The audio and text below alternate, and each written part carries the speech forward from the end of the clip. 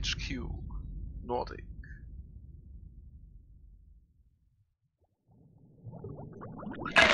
Piranha Bytes.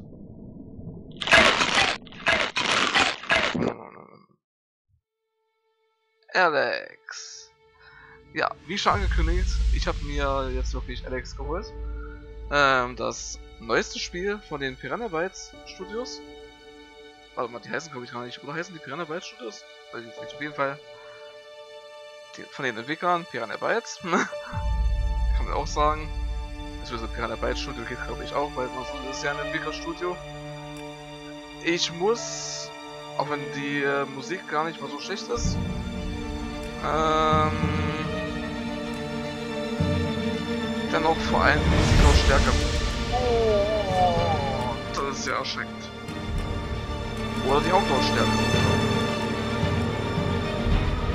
Okay, hilft trotzdem nichts auf die Musiklautstärke. Ich würde sagen 50 reicht. Naja, sagen wir 40, das reicht. Nichts gegen eure Musik, Piranha Bytes, noch nicht zumindest. ähm, ist nur so, die ist gerade wirklich ganz schön. Hi. Hilo. Post AA. Achso, okay. Tiefenunschärfe. Na gut, ich lasse es mal an. Ist immer so eine Sache eigentlich bei der Tiefenschärfe, ob man die anpasst oder nicht. Effektreichweite Ultra. Sichtweite Ultra. So.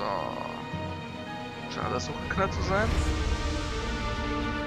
Immer schön die Grafik hochknallen. Ja, ich hoffe, dass eigentlich äh, gute Grafik spielen kann. Ich überlege, ob, ob ich das auf 30 haue. Ich hoffe, 40 geht schon. Die Musik ist ja nicht immer so laut, wie, es, wie sie jetzt ist. Hoffe ich zumindest mal. Wir haben keine Untertitel. Gib mir Untertitel. Statusanzeige. Radar. Out. Tipps. Von mir aus. Tutorial. Auch. Fokus hervorheben. Nein. Gegnerstufe mag ich auch nicht haben. Ähm. Missionsanzeige mag ich auch nicht haben. Konsequenzenanzeige. Was genau heißt das? ähm.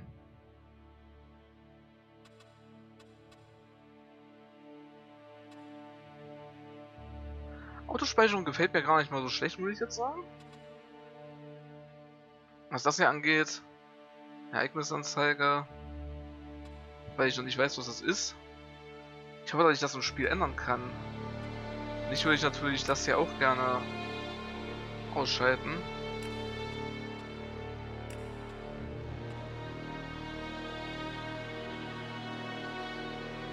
Ähm, ja. Als Konsequenzanzeige kann ich mir ja schon denken, was das ist. Ähm, ja, was Dingsbus angeht, kann ich mir ja teilweise eigentlich auch schon denken. Ereignis, wobei Ereignisanzeige kann ich mir nicht so unbedingt denken. Entweder dies oder das. Denke ich mir da. Ähm, die Gamma haben wir schon gemacht. Wie man sieht. Das Elixier. Das habe ich genauso gemacht, bis das Logo gerade noch so sichtbar ist. Habe ich dann auch so angenommen. Ähm, ja, wie gesagt, Alex ist das neueste Spiel von den Piranha Bytes, vom Piranha Bytes Studio. Ähm, diesmal vom Publisher die, ähm, THQ Nordic. Das sind ja sozusagen, das muss, muss, muss ich jetzt ähm, mal erklären, wie das ist. Erstmal war Piranha Bytes bei Jovut. Ähm, die haben dann übelsten Scheiß gemacht, könnte man sagen. Wobei, na gut, vielleicht war Gothic 3 nicht nur alleine Jovut schuld, aber mit auf jeden Fall. Ähm, und haben danach eben auch noch, noch größeren Scheiß gemacht. Die haben noch Götterdämmerung rausgebracht. Ein verdammt scheiß Addon, wo sie ähm, eine, ein, ein Entwicklerstudio rangesetzt haben, was ich überhaupt damit gar nicht auskannte. Dann haben sie Gothic 4, beziehungsweise Arcania, rausgebracht. Sie haben es Arcania Gothic 4 genannt. Ich hätte es bei Arcania äh, Gothic 10 oder einfach nur Arcania belassen. Die Lore hätte na gut, die Lore wäre trotzdem mit die gleiche gewesen. Aber man hätte auch eine andere Lore machen können. Das wurde von Spellbound entwickelt. Die sind unter anderem bekannt für, ich glaube, irgendwie Desperado, Adventure-mäßige Spiele und solche Sachen. Ich kenne jetzt ähm, Spellbound nicht ganz so sehr. Sorry, über die kann ich das nichts sagen. Waren allerdings auf jeden Fall nicht ganz so gurke wie äh, das Entwicklerstudio, was sie für die Götterdämmerung, also Gothic 2 Götterdämmerung, eingestellt haben. Oder an das Entwicklerstudio, was sie an diesen Titel, an den Addon von Gothic 3 rangesetzt haben. Wobei ja eigentlich Gothic 3 sozusagen schon die Gothic-Reihe abschließen sollte. Zumindest ähm, von Piranhas Sicht aus vielleicht nicht unbedingt ganz abschließen. Aber wenn, dann hätten die auf jeden Fall noch einen eigenen Teil selbst wollen. zu der Gothic-Reihe. Ähm, so trauen sie sich ja jetzt überhaupt nicht mehr ran, weil ich glaube, die Piranhas haben teilweise schon auch, wobei, ob sie das zugegeben haben, weiß ich jetzt nicht. Aber auf jeden Fall haben auch schon viele andere gesagt, dass eigentlich die Gothic-Reihe schon so wie tot ist durch Götterdämmerung und äh, Gothic 4 eben, beziehungsweise Arcania. Ähm, und ja, deshalb haben wir sich bisher nie an weiteren Gothic-Teil angesetzt.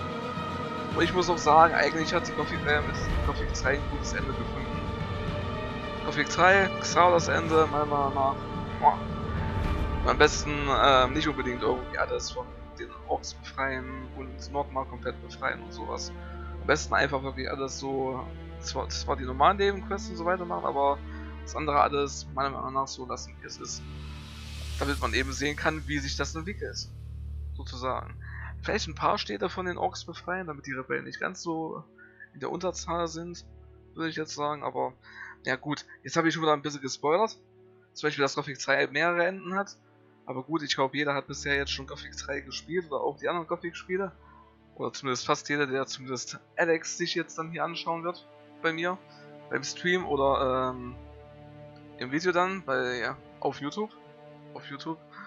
Ähm, und ja, nach Sherwood, also nach den ersten drei Gothic-Teilen, die noch von Piranha Weizen Vegetoren ähm, waren, und dem Addon natürlich zu Gothic 2, also Gothic 2 die Nacht des Rahmen, ähm, sind sie dann, was haben sie sich dann gelöst von Jobut?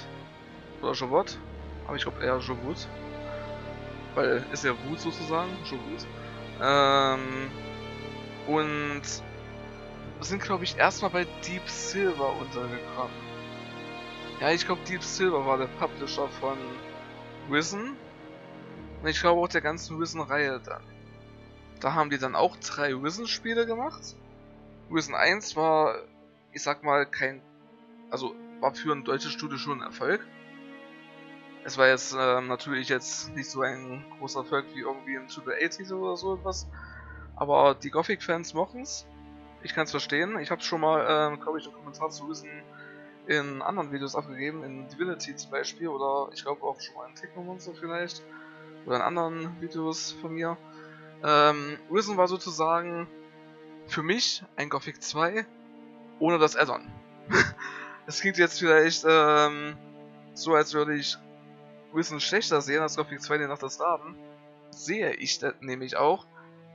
Ich sehe es ähm, ungefähr gleichwertig wie Gothic 2, vielleicht sogar ein, noch ein wenig schwächer als das Standard Gothic 2, aber trotzdem von den Quests und ähm, also von dem, was man zu tun hat, ja, sozusagen, noch etwas über Gothic 1. Aber nur etwas. Also wirklich nur etwas über Gothic 1. Ähm, bei Gothic 1 haben dann am Ende einfach die Quests meiner Meinung nach gefehlt. Die Nebenquests vor allem. Auch wenn man sagen musste, dass es da eine verdammt geniale Nebenquest gab, in dem ein Turm dort in Gothic 1 im Nebelturm. Ähm, was man so nicht mehr ganz in anderen Piranha Bytes oder zumindest in einem anderen Gothic nicht mehr so ganz hatte. Finde ich zumindest. Ähm, aber trotzdem hatten bei Gothic, hatte bei Gothic 1 am Ende dann, je mehr es Richtung Hauptquest, also je weiter man die Hauptquest gemacht hat, an Quests gefehlt ist. Und das ist... Versteht mich nicht falsch. Klar, Man würde dann auch vermutlich wissen, wie die Hauptquest weitergeht, weil das ist gar nicht mal so eine schlechte Hauptquest gewesen, die Piranha da in Gothic 1 meiner Meinung nach aufgetischt hat. Weil es eben auch noch eine Art kleinen Plot-Twist gab. Zumindest für die Leute, die Gothic 2 nicht davor gespielt haben, war es ein Plot-Twist. Also für die, die wirklich mit Gothic 1 angefangen haben. Für mich war es deshalb kein Plot-Twist mehr.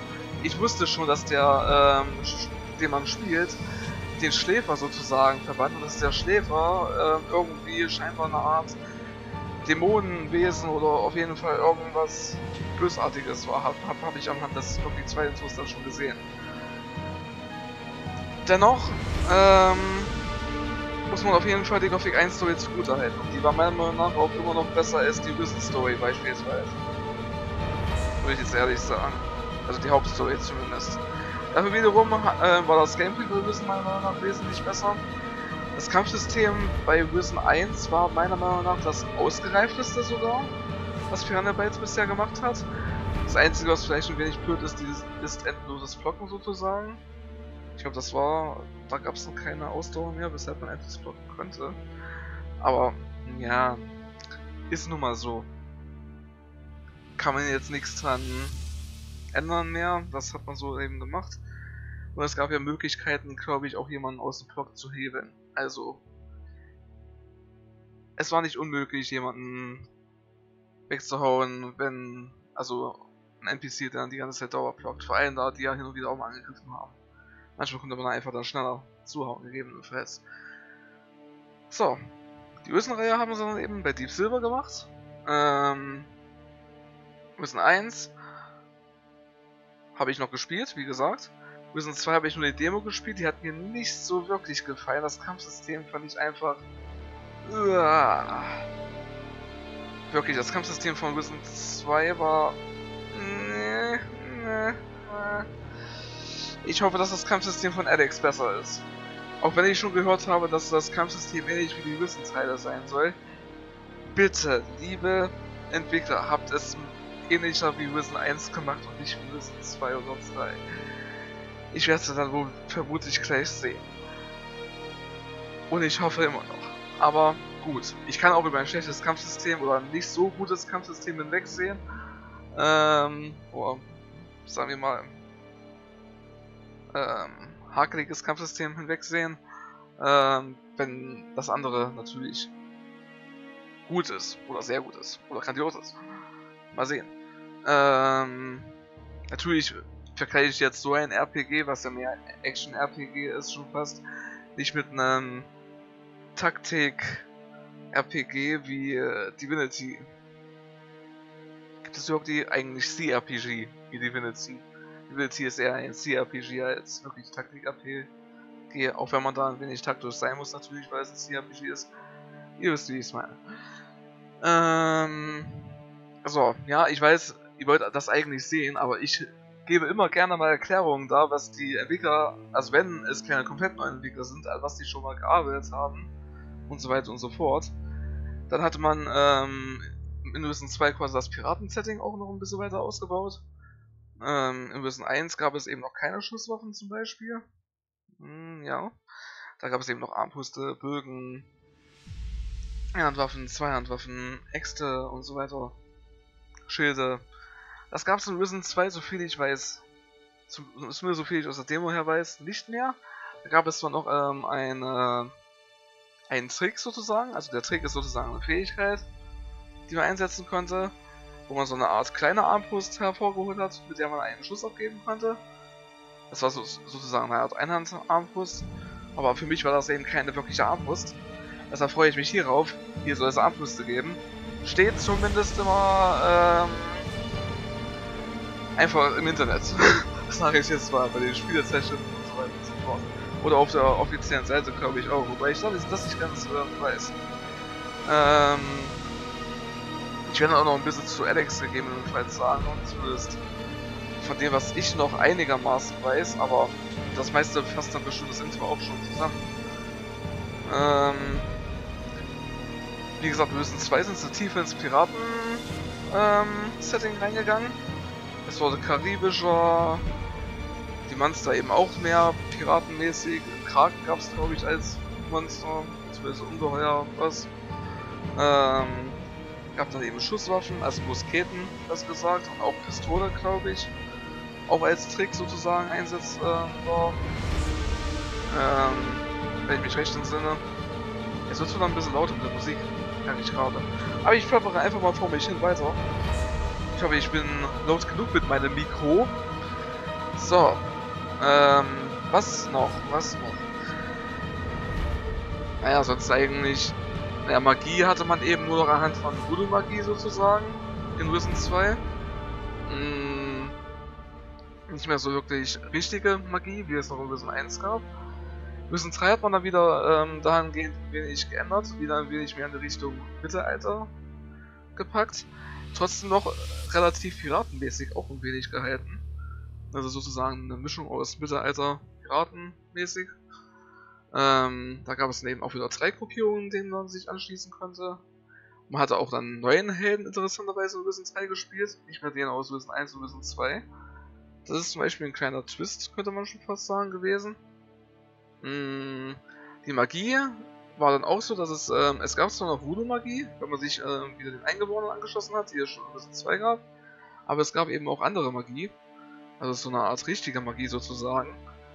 Ähm, und ähm, die Kämpfe waren, glaube ich, auch wieder doch wieder ein bisschen besser gemacht worden, weil es wieder mehr Waffenauswahl gab. Also Wissen 2 war das mehr eben wirklich auf Fechten und so weiter ausgelegt. Wissen 3 ähm, hatte man dann eben auch wieder Hammer, glaube ich, als Waffen und so weiter. Ob es da auch Schilder oder gab, weiß ich nicht. Ich habe es nicht gespielt. Ähm, werde ich aber auf jeden Fall irgendwann nochmal spielen, wenn ich die Wissen-Reihe spiele. Ich weiß nicht, ob ich die sogar vor Gothic spiele oder danach. Aber vielleicht mache ich das wirklich so.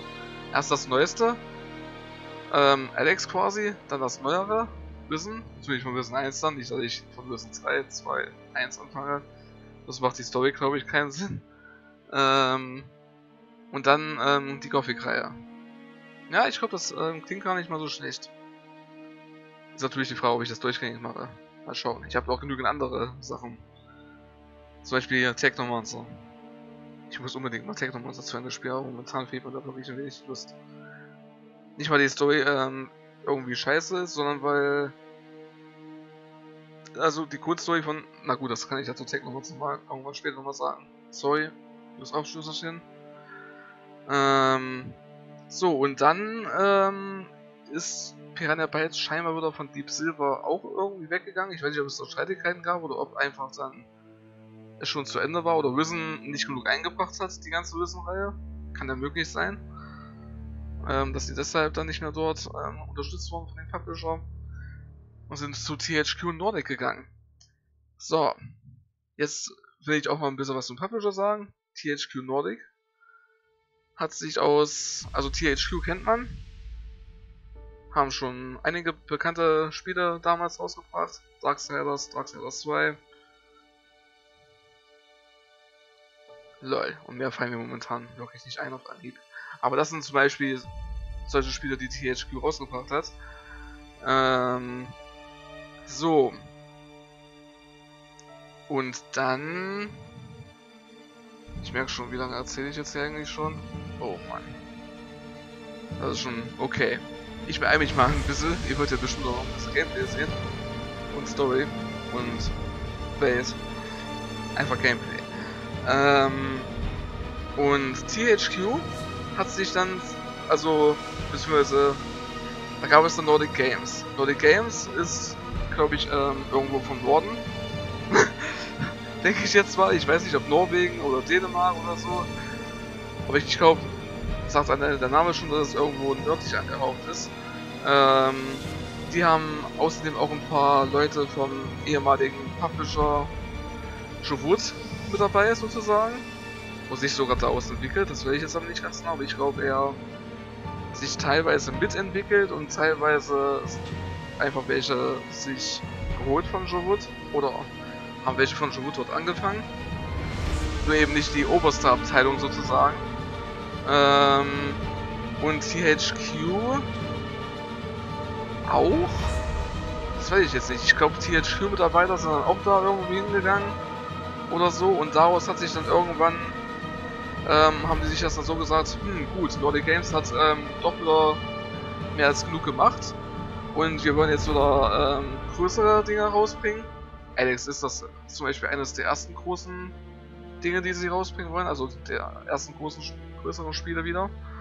Ähm, dann auch Darksiders 3 zum Beispiel, was schon angekündigt worden ist. Also die Darksiders 3 wollen sie weiterführen. Zumindest bis zum vierten Reiter, sage ich jetzt mal, der noch... Ähm, also es gibt ja vier apokalyptische Reiter, na gut. Das ist Darksiders eben. Hm. Auf jeden Fall, sie wollen noch den dritten Teil von Darksiders dann auch noch rausbringen. Unter dem Namen natürlich auch gepublished, THQ Nordic. Und ja, THQ Nordic ist dann sozusagen, also der Name von Nordic Games ist umgeändert worden zu THQ Nordic. Da wusste man dann, oh, okay, da sind welche von THQ drin und eben Nordic Games. Und Nordic Games hat eben auch ein bisschen Züge von Jowood drin. Ähm, und ja, die haben dann quasi Piranha Bytes unterstützt, eine komplett neue Marke wieder erstmal zu machen. Ist es die Frage, ob es davon dann Nachfolger geben wird von Alex, aber mal sehen. Und nun zu Alex. Um das mal zu sagen, ihr seht ja schon hier, ähm, Gewehr, eine Art Sci-Fi-Turm sogar schon, so metallmäßig. Und Eis natürlich im Hintergrund auch. Hier aber auch normale Holzhütten. Hä? Was ist denn da los? Und natürlich schöner Wald. Gar nicht so schlecht. Muss ich jetzt sagen, dieses Artwork hier. Ähm, und Schwert. Und eher eine ähm, kämpferische, kriegerische, mittelalterlich angehauchte Rüstung.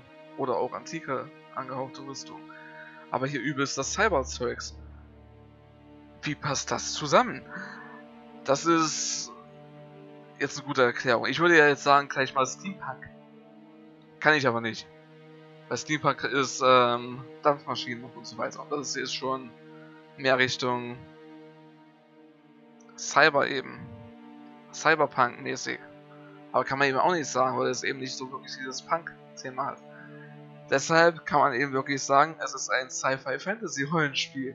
So wie Piranha Bytes das nämlich auch gesagt hat. Es hat Sci-Fi-Aspekte mit drinne, Fantasy-Aspekte und daraus wurde ein Rollenspiel gemacht. Und durch die Fantasy natürlich hat man dann auch ein wenig... Ich kann jetzt nicht unbedingt sagen Mittelalter. Das ging nicht gut. Weil eigentlich ist die Welt ja nicht mehr in der Mittelalterzeit sozusagen. Gut, die eine Gilde will wieder mehr mit der Natur zusammenleben und so weiter. Gut, also die eine Gruppierung besser gesagt, nicht Gilde. Ja. Oder Fraktion. Mm. Aber eigentlich würde ich es wirklich eher als Sci-Fi-Fantasy-Rollenspiel bezeichnen. Das heißt, es gibt auch Magie. Es gibt aber eben auch hohe Technologie. Wie zum Beispiel solch ein Gewehr. Es gibt, glaube ich, einfache Schusswaffengewehre. Es gibt ähm, dann auch Energiegewehre, und so etwas. Granatwerfer gibt es auch, Raketenwerfer gibt es.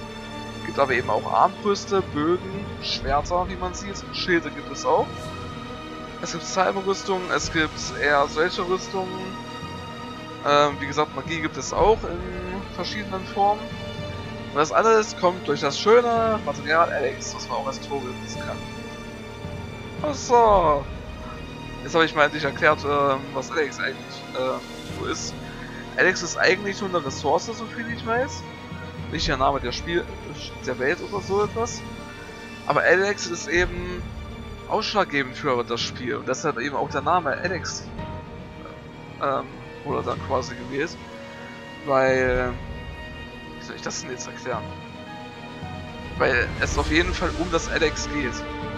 Es geht quasi um diese Ressource, um das Material Alex sozusagen. Das kam nicht ähm, auf natürliche Weise irgendwie dann mal vor in der Welt. Das ist, glaube ich, oder soll, glaube ich, durch einen Meteoriten auf die Welt gekommen sein. Und dadurch konnten die dann eben sich technologisch weiterentwickeln, allerdings auch ähm, geisteszustandsmäßig eben, also konnten dann auch durch Alex mit Magie wirken. Ähm, oder eine Art Magie, vielleicht eine Art Sci-Fi-Magie. Sowas wie die Macht ungefähr aus Dingsbums, vielleicht auch richtige Magie, wie jetzt Feuerwelle erschaffen und so, das, das weiß ich jetzt noch nicht. Und ja, da haben sich dann eben auch Gruppierungen gebildet, nachdem der Meteorit dann sozusagen eingeschlagen, glaube ich, ist. Ich glaube, das war über Meteoriten, oder? Das nennen sie haben die Story ein bisschen geändert, das weiß ich jetzt nicht. Also wie ich ähm, weiß, soll das durch Meteoriten auf die Welt gekommen sein. Und die streiten sich eben auch um das Alex und so weiter und so fort. Und das sieht man allerdings eigentlich schon im Spiel. Ähm, es gibt drei Fraktionen, denen man sich anschließen kann. Insgesamt gibt es eigentlich vier Fraktionen. Der einen gehört man... Na gut, ich will nicht zu viel spoilern. Deshalb sage ich jetzt, ähm... Ich gehe nochmal hier rein. Na gut, lassen wir erstmal noch an. Ich hoffe einfach, dass ich das wirklich ähm, später auch nochmal einstellen. Später auch nochmal einstellen. Später auch nochmal einstellen kann. Es gibt leider gar keinen Sch Schwierigkeitsgrad oder gibt es einfach wirklich keinen Schwierigkeitsgrad, frage ich mich jetzt. Hm. Werden wir gleich sehen. Neues Spiel. Ach so. Leicht, normal, schwer und ultra. Ich ähm, weiß von Gothic 3 auf jeden Fall noch. Bei Risen konnte man glaube ich den Schwierigkeitsgrad gar nicht einstellen, oder das weiß ich jetzt gerade gar nicht. Auf jeden Fall Risen war sogar teilweise noch auch Richtung Midgame und auch Richtung Endgame noch mit, ähm, auf Mid recht schwierig. Ähm, von Gothic 3 weiß ich allerdings, dass normal verdammt einfach war. Deshalb würde ich jetzt, weil ich jetzt hier sehe, dass es ja insgesamt sogar vier Schwierigkeitsgrade gibt, würde ich mal schwer nehmen. Der Planet Magalan. Unsere Heimat. Vor 160 Jahren wurde sie durch einen Meteoriteneinschlag fast vollständig zerstört.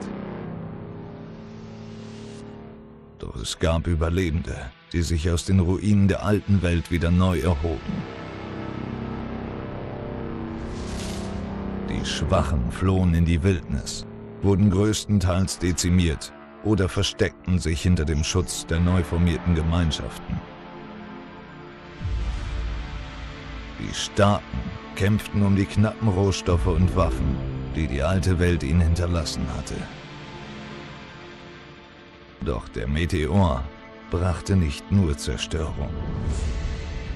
Auch ein neues, bisher völlig unbekanntes Element kam auf unsere Welt. Elex.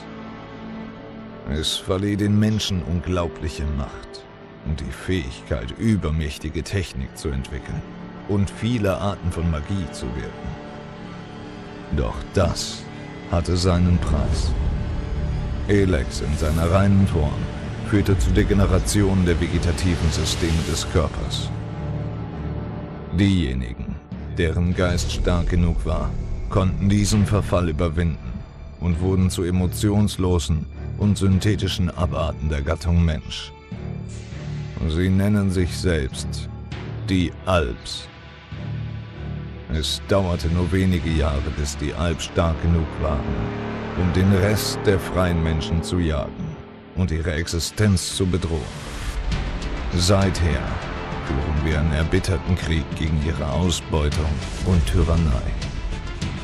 Einer der Alt, ein aufstrebender und siegreicher Feldherr, ist der effektivste unter ihnen. Wir nennen ihn die Bestie von Xarkor. Den Namen habe ich mir jetzt nicht gemerkt von dem Planeten. Sorry. Okay, jetzt schweige ich erstmal.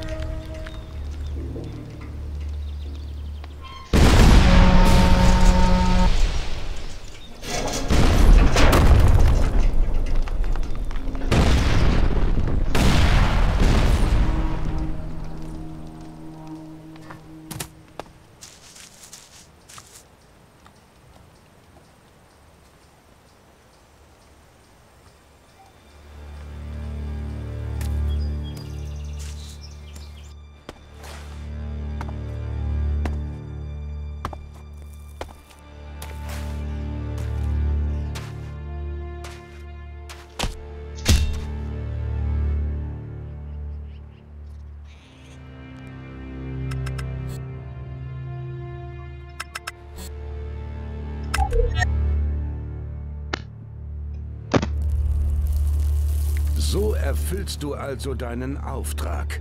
Du kennst unsere Direktive. Du weißt, es gibt nur eine Konsequenz für dein Versagen.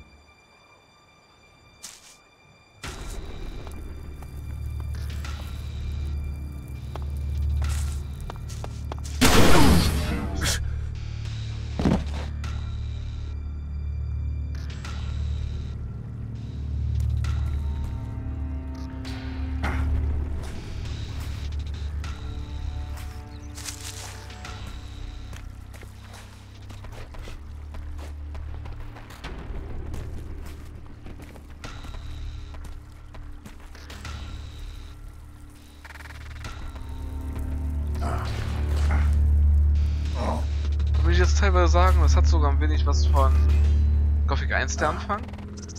Außer dass das Willkommen im Lager fehlt. Bam!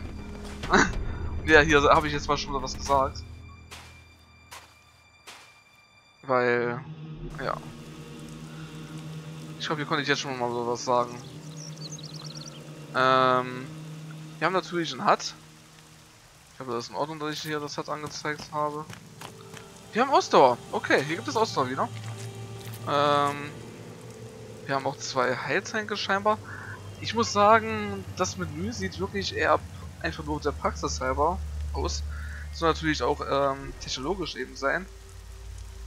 Das ist jetzt teilweise auch technologisch, muss ich jetzt sagen. Hm. Okay, also es gibt hier eine dicke Waffen. Es gibt auch wieder zweihändige Waffen. Das finde ich gut. Es sind Gewehre, wie man sieht. Schwere Waffen, Magie und Munition. Weiß ich wozu dann Bögen zählen und so weiter. Das werde ich dann sehen. Momentan haben wir eine Eisenstange. Eisenwaffe. Wert 20 Credits. Taler? Keine Ahnung. Ich weiß nicht. Ich würde jetzt nicht einfach sagen Gold. Wenn ich nicht weiß, was das hier äh, für eine Währung sein soll. Schaden 20. Es hört sich viel an. Allerdings, wenn man bemerkt, dass ein schwerer Ast mal auch 10 Schaden macht in Gothic 2 oder Gothic 2 die Nacht des Raben.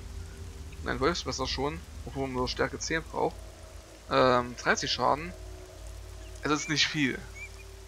Das ist der übrigens Stärke 10 und auch Konstitution 10. Das heißt, wir haben mehr Attribute als nur Stärke und Geschick.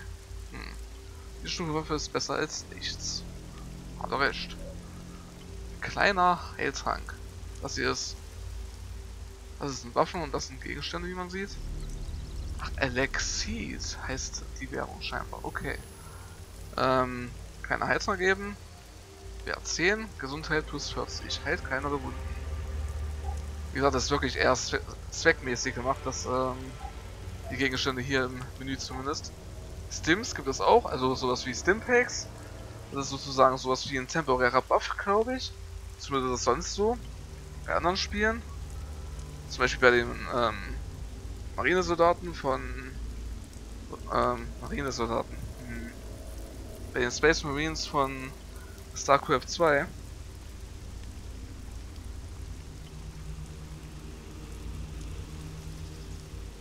Ich habe jetzt den Mund so fussig, fussig geredet, da muss ich mal was trinken. Nahrung. Stichwort trinken. Ich denke mal, unter Nahrung wird Essen und Trinken aufgezählt ähm, an Pflanzen, sowas wie die Heilpflanze, die ich da schon gesehen habe. Werkzeuge und Schlüssel eben. Mhm. Das glaube ich selbst erklären. Materialien auch selbst erklären. Es gibt hier nämlich auch ein Crafting-System. Gab es ja schon in Gothic 1. Auch wenn in Gothic 1 nur noch nicht sehr weit ausgebauter Schmieden muss man jetzt sagen. In Gothic 2 wurde das wesentlich mehr ausgebaut, sowohl das Spielen als auch Runen herstellen und Alchemie. Und vielleicht sogar noch was, weiß ich jetzt nicht gerade genau. In Gothic 2 gab es dann noch wesentlich, noch viel mehr ausgebaut, meiner Meinung nach. Ähm, Sockel weiß ich jetzt nicht, was das ist. Vielleicht so eine Art Verzauberung oder Sachen, die man einbauen kann in die Rüstung. Das sind hier sind die Quests eben, oder der Questlog, Missionslog auch. Laufende Mission, erledigte Mission. Ähm, toll. Jetzt habe ich das hier schon irgendwo steht. Geschriebenes. Rezepte sogar. Die werde ich also auch gemerkt. Audiologs gibt es auch. Und Items, also Missions-Items scheinbar. Okay, und das hier ist die Karte.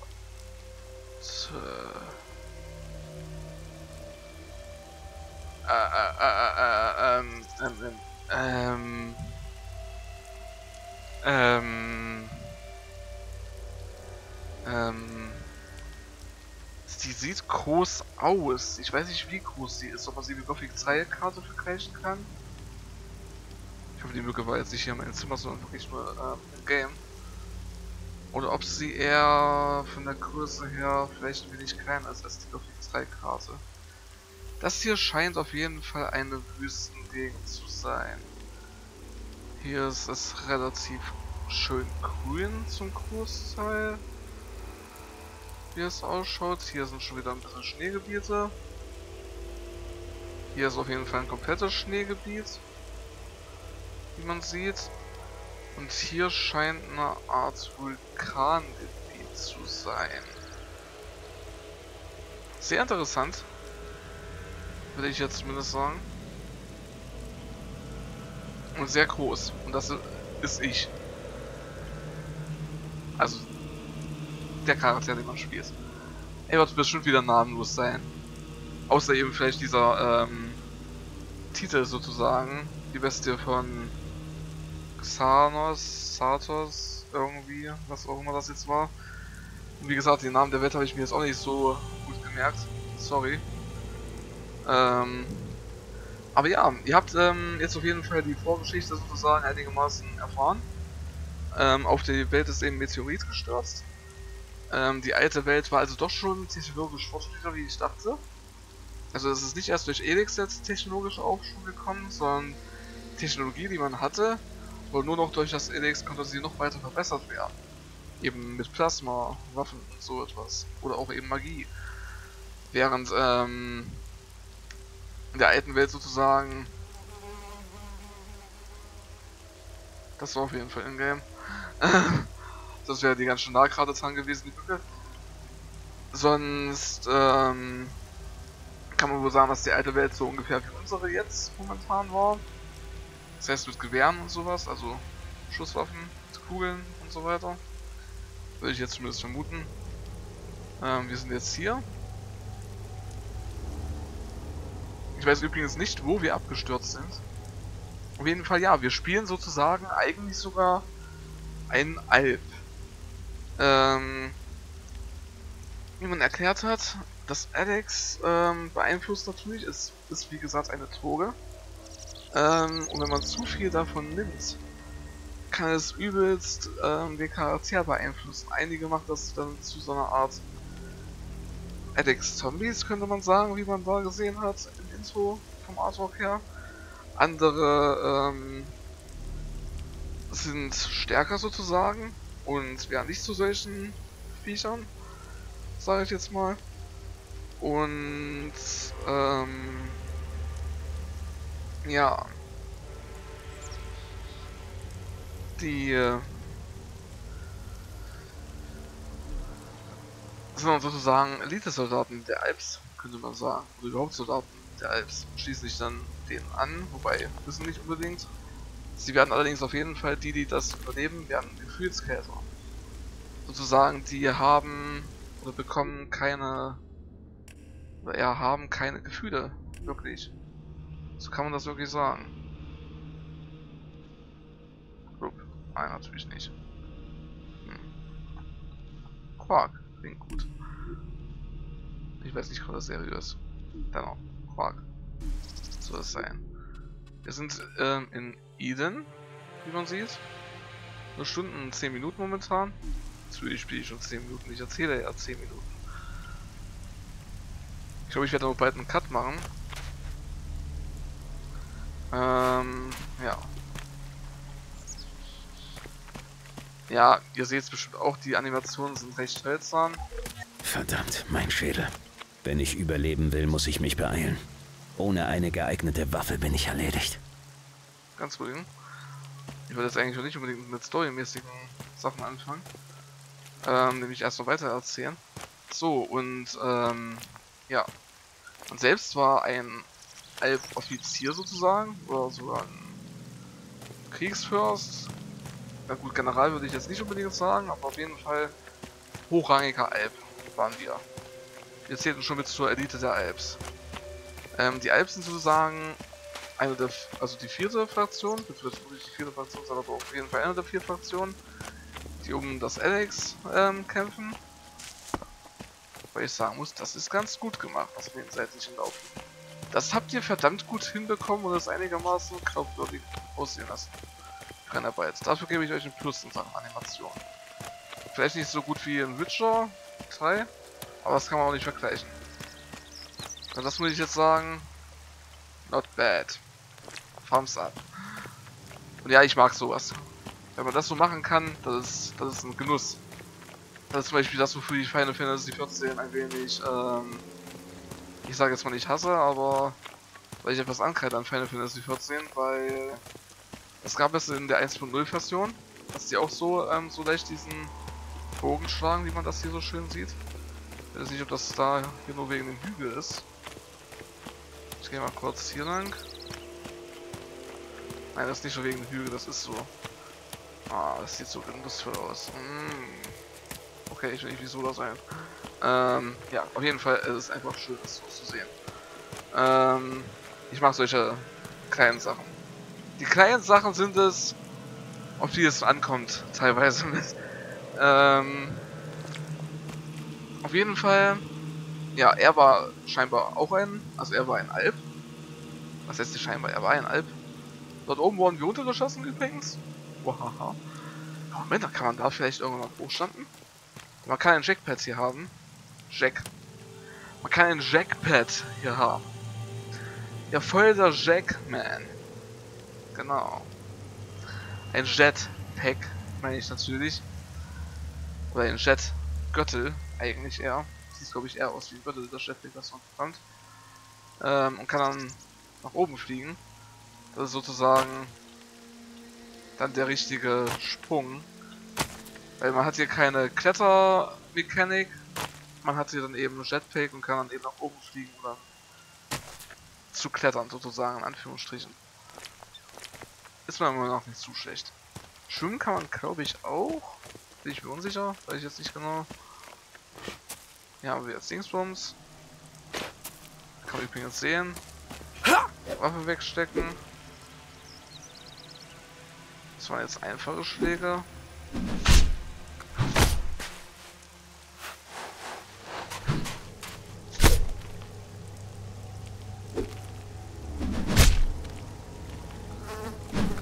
Ah, so kann ich jetzt... Mit Q kann ich dann Spe Spezialfähigkeit machen, okay.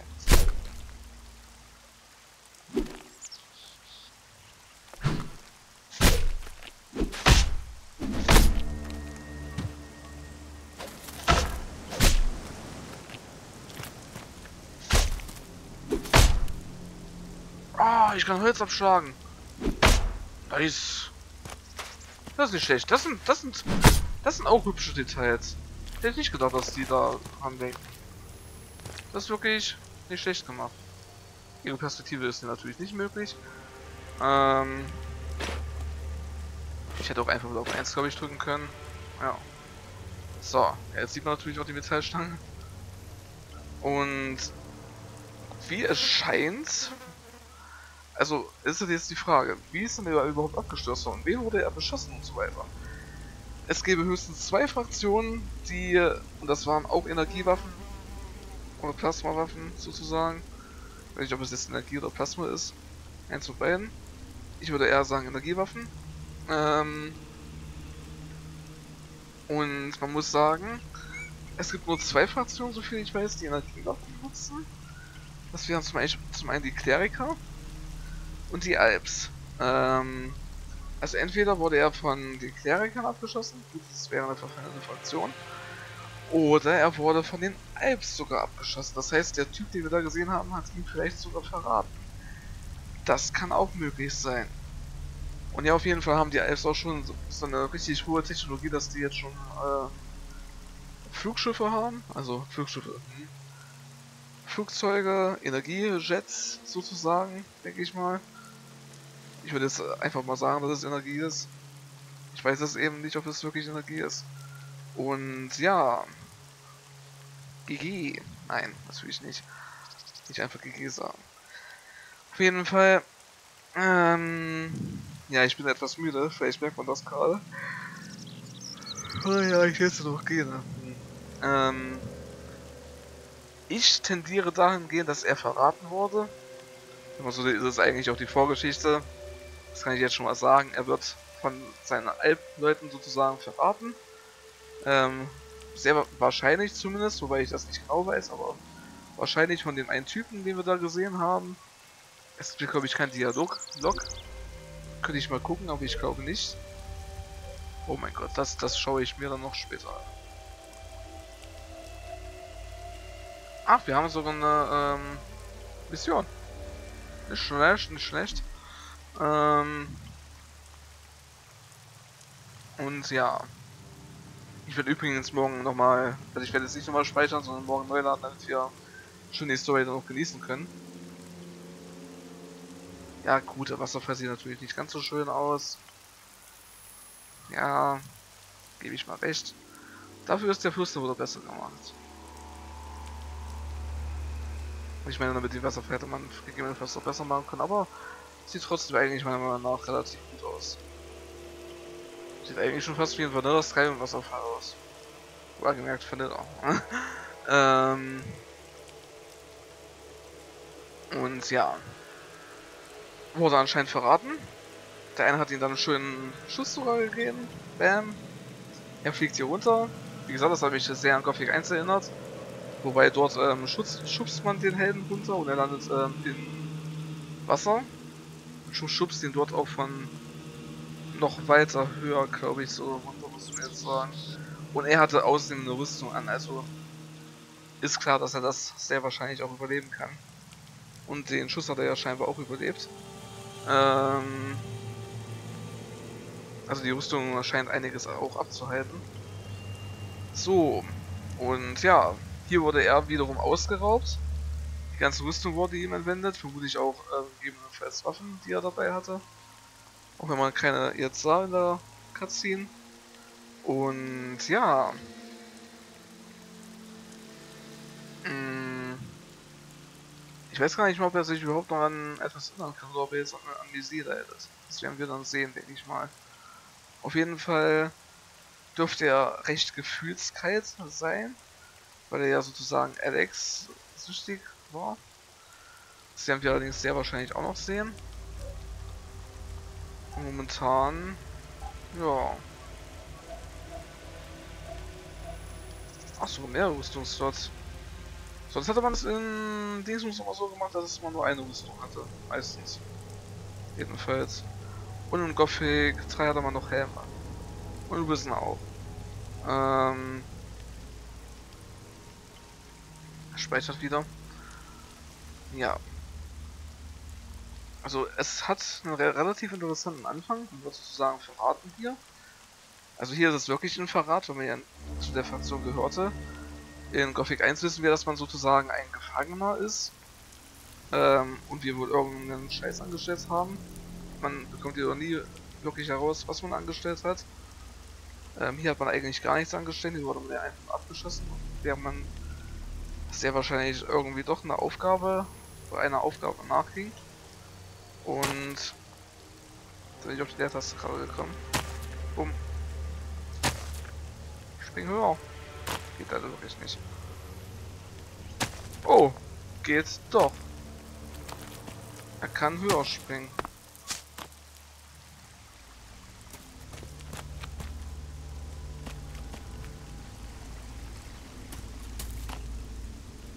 Nicht schlecht. Oder weiter zumindest. Ähm.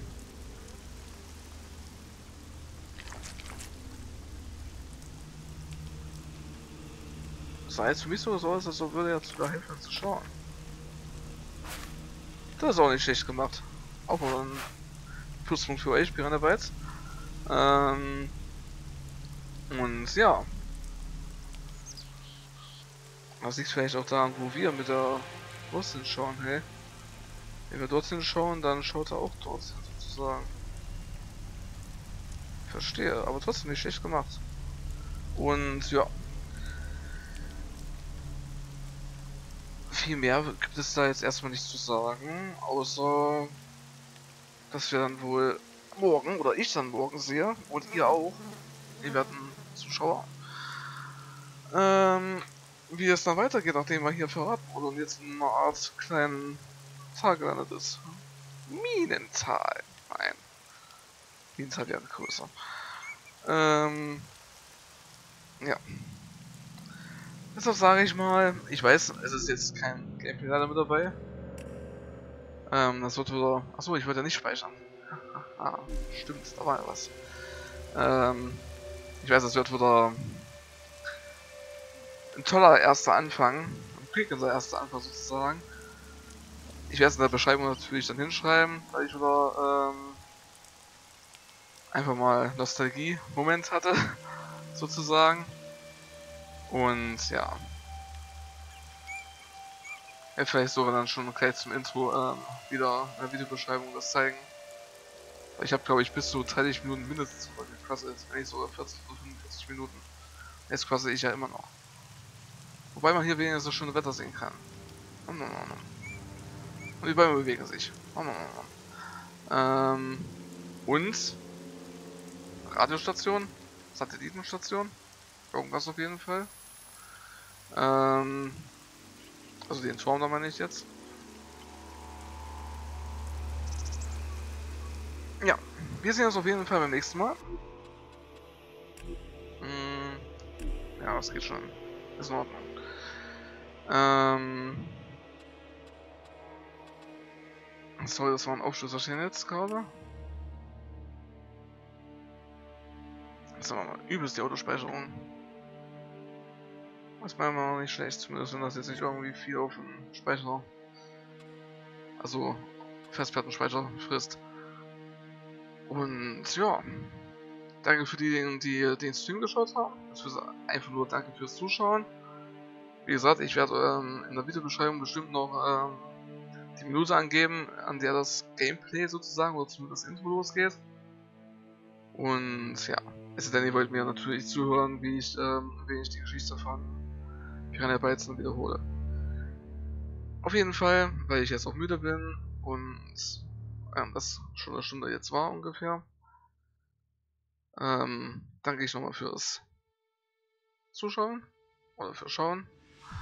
Ähm, hoffe ihr schaut auch das nächste Mal wieder rein. Sei es nun Alex, Stream oder Video oder Divinity. Oder andere Spiele, die ich auch noch habe. Ähm, und ja, wenn es euch gefallen hat, könnt auch gerne einen Kommentar lassen. Und ja, Comment. Ich brauche jetzt nicht unbedingt ein Like oder so etwas. Wie gesagt, ich mache das ja hobbymäßig.